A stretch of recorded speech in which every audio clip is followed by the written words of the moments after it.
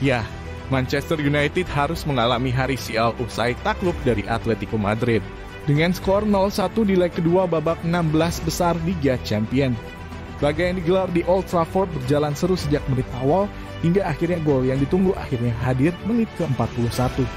Diawali dari umpan lambung yang diberikan Anthony Griezmann, lalu dimanfaatkan dengan baik oleh Rodi. Skor 1-0 untuk keunggulan tim tamu.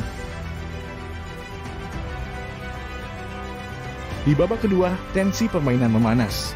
Keduanya yang ngotot mencuri gol, terutama Man United yang makin getol dan berani menusuk dari berbagai sisi pertahanan Atletico.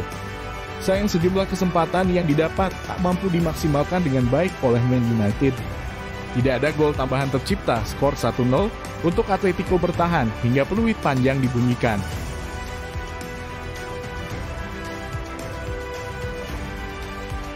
Momen menarik terjadi usai peluit panjang dibunyikan.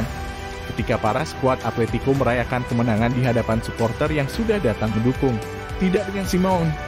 Dengan gaya khasnya, Simon langsung berlari menuju ruang ganti pemain. Tapi dalam perjalanannya itu, Simon mendapat perlakuan tak mengenakan dari supporter tuan rumah.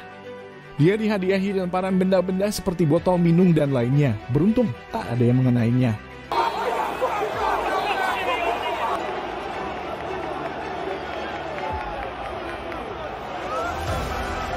Berkat kemenangan ini, Atletico resmi menyegel tiket menuju babak perempat final Liga Champions dengan agregat 2-1.